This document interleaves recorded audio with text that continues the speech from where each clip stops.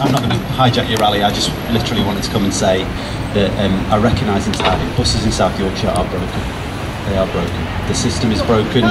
The way in which buses work are broken in South Yorkshire, and the reason that they're broken is because of 30 years of deregulation, and we all know that. Um, and so what we're trying to do is fight for this government to give us um, 205 million pounds to invest in our buses and bus services in South Yorkshire in the immediate term. Now, apparently, we should we have been told there is now 36 billion pounds available um, for Northern Transport. So I'm hopeful that some of that money is going to find its way to South Yorkshire.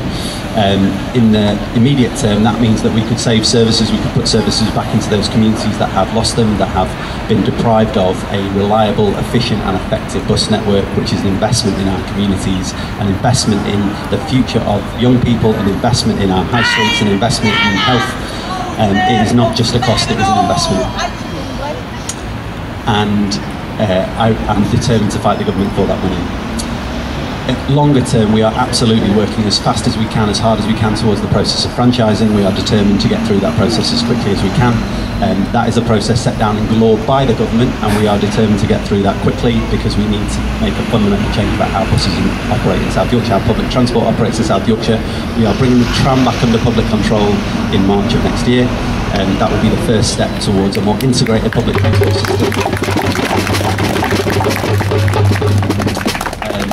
active travel at its heart as well. So I am determined to make that change. We are doing it as quickly as we can. We're investing in terms of time, in terms of people, in terms of money to get through that process. Um, and the franchising assessment decision, we should be able to take that next year. So I'm determined to make sure that we work as hard as we can. We're going quicker than anybody else. I was with Andy Burnham just the other day. He's done it in seven years. We're trying to do that in three. So we're doing it as quickly as we possibly can.